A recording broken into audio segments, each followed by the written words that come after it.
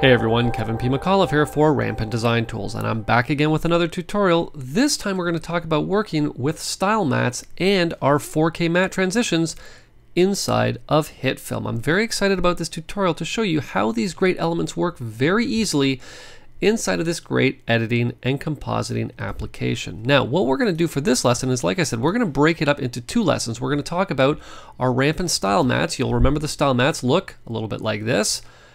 There's a huge collection of them that you can find for purchase on the Rampant Design Tools website at rampantdesigntools.com.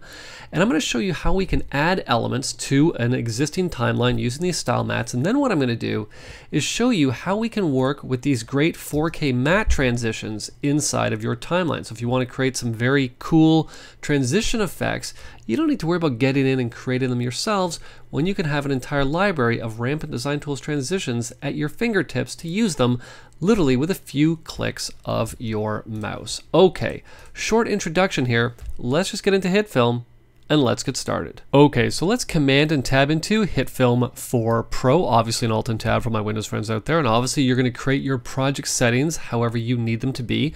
In my case, because our base clip is going to be 720p, I'm just going to create a new project, 720p, 1280 by 720, 23976 frames per second. I'm simply going to say Start Editing.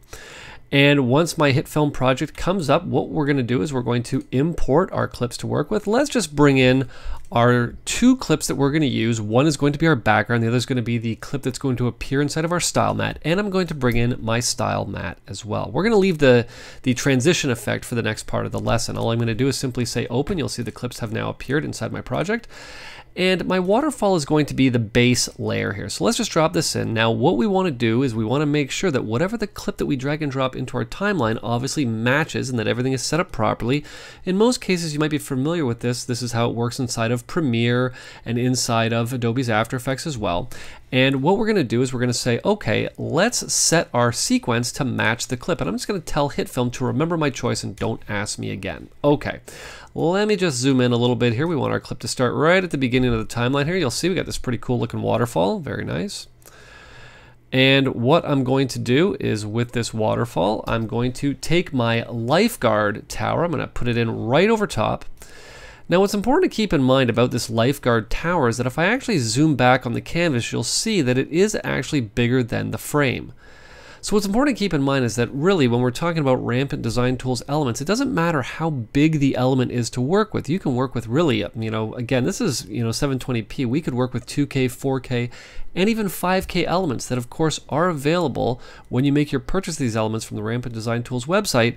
Really all we have to do is just scale them and position them however we're going to want them to appear in our project. Okay, so once I have the clip in here, what I'm going to do is I'm just going to fit my canvas back to be full frame and I'm going to right click on my clip and I'm going to make a composite shot with this element. And you know I could just call it lifeguard beach tower composite Okay, and I'm going to take the composite shot properties from the selected clip, and if I had any effects, I could either leave them here or move them with the clip. We're just going to leave everything the way that it is, and I'm simply going to say OK. What's going to happen once I do that is I'm now going to actually step into that composite shot. You can see that I have the lifeguard tower right here, ready to go. Okay, and I can come back and I can hit play on it if I wanted to, so we can see it play in real time. Very cool. But what we want to do is get that style matte in here. So all I'm going to do is simply take the style matte and I'm going to drag it and drop it right above the lifeguard tower. Now you're going to see it appear here. Okay. And we can see it transition in. Now I'm dragging through. Again, I can hit play. We can see what it does in real time. Now, of course, again, what I'm going to do here is just zoom back. Now you can see that because the lifeguard tower shot is the same size as the Rampant Design Tool style matte, everything matches each other just like such but it's a little bit bigger than the frame that we came from, or the frame size that we came from, but we'll deal with that in just a second. What I want to do now is I want to tell the lifeguard beach shot to look at the rampant style matte to use as a matte. So how do I go about doing that? Well, what I'm going to do is I'm going to head on over to the effects tab and inside of the search window, I'm going to type in set matte. Okay, it's going to take us to the keying section to the matte enhancement category and there is set matte layer only. Now what most people think is that because the Rampant Design Tools element is the matte layer, that that's what we're going to want to apply this effect to, but it's actually not. What we want to do is we want to take it and drag it and drop it onto the Lifeguard Beach shot. So lifeguardbeach.mov. Now you'll see that as soon as I drag and drop, nothing has happened. What we need to do is we need to tell the effect what we want it to exactly look at in the rampant style matte layer. I'm just going to twirl down the effect. You'll see right now the first thing it's going to say is, okay, Kev, what layer do you want to use? Well, the source layer that I want to use is, of course, the Rampant style matte right there. Now, in most cases, depending on the Rampant Design Tools element that you're working with, you might see something happen here at this point because a lot of the elements actually ship with alpha channels. This element here, I specifically didn't give it an alpha channel because I wanted to show you how it works both ways. In the next part of the lesson, I'm going to show you how we work with elements with alpha channels. So in this case, what I want to do is instead of the matte source being alpha, I'm simply going to set it to luminance. Now, as soon as I do, nothing has happened. The reason being is because I still have this layer turned on. Believe it or not, I actually don't need this layer turned on at all. I can actually turn the layer off just like that because it's still looking at the layer. I just don't need to see it. We're using its information, but it's not going to be visible. Okay, now the only problem is what I actually want to have happen is I want the lifeguard tower to be revealed over here on the left, not laid out like this. So all I'm going to do is that instead of having the blend be to replace, I'm going to have the blend be to subtract. And you'll see now that if I come back and I hit play, we're now revealing that lifeguard tower. Now, of course, what I could do, depending on the size of this lifeguard tower shot, I could actually come into the transform section. I could come down to scale. We could just scale this up a little bit. I could, of course, reposition it up here like that. Very nice. And I'm going to come back and hit play. Now, the shot works exactly the way that I want it to. You see it comes in, transitions in, reveals the lifeguard tower, but what happens is right as we get towards the end, the transition disappears and then cuts back to the lifeguard tower full frame, which is not what we want to have happen.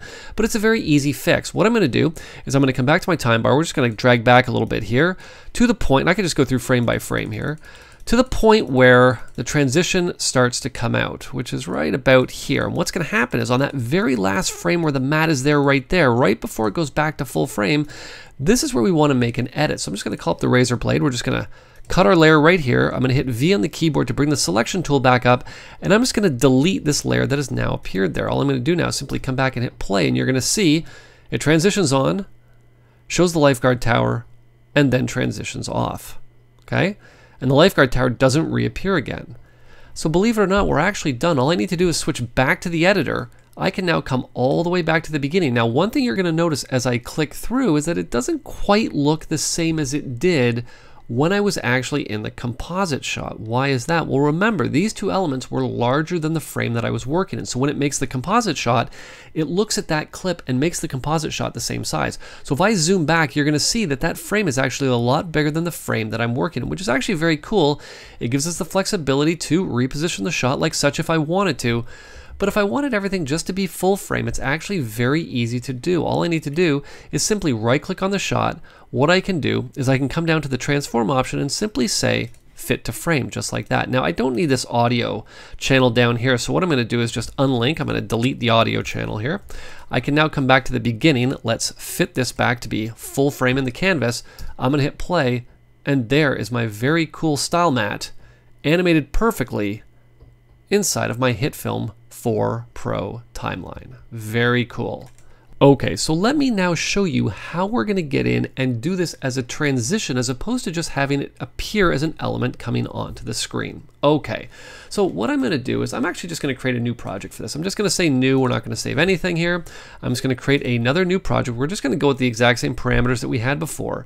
Now, one thing that's important to keep in mind about this style matte is that it's actually a 5K element that we're going to be working with. So what I'm to do is say import, and let's come down. I'm just to transition this over. It's actually a 4K element, not a 5K element. And again, let's just bring in our same shots, except this time instead of the style matte, let's bring in this 4K matte transition. I'm to say open. I'm going to bring my waterfall back in. We're going to have it conform the sequence to this clip. And what I'm going to do here is just zoom in a little bit. And now what I'm going to do is I'm just going to take this lifeguard beach shot and I'm going to put it anywhere. It doesn't really matter where I put it for right now. Again, exactly the same thing. Right click. We're going to come down to make composite shot. We're going to leave everything the way that it is. We could actually rename this to get rid of that .mov if we wanted to. I'm going to say OK. And now what I'm going to do is instead of taking my style matte, we're going to take our transition effect and I'm going to drag and drop it right above the lifeguard tower. Now, of course, what's important to keep in mind is if I zoom back, it's huge, okay? So of course, much like we'd done before, what I could do is simply come down to my transform options and we could scale this element however we want it to be. Sometimes you might want the element to be a little bit bigger than the frame. And what's going to happen when I hit play is that you're going to see that it does the transition. The problem is that it doesn't really do the transition because obviously we haven't set it up to do that properly. But you can see that any element that you bring in with an alpha channel will of course be completely keyable inside of HitFilm. Now what I'm going to do is just scale this back to fit. And let's get this set up now again, much like we did before. We're going to come to our search. I'm going to type in set matte. Okay. We're going to take the set matte effect. We're going to drag and drop it onto the lifeguard beach tower. Much like we did before, we're going to choose the source layer, which is the rampant 4K matte transitions. But what we want to do is make sure that the alpha channel layer is selected. And in this case, it's not quite doing what we want it to do. What we actually want to have it do, and we'll just come back to the beginning here. You'll see there we go. Now, it doesn't appear as though that the effect is actually doing what we want it to, but remember, it actually is because what's happening is, is that we're actually seeing that keyable element appear over top of the footage. So we're going to want to turn that layer off. So this way when I come back, I can simply hit play and there is the shot being revealed exactly the way that we want it to be. Now again, we have the same problem that we had before. What happens is that when we get down to the end, the shot disappears, which is not what we want to have happen.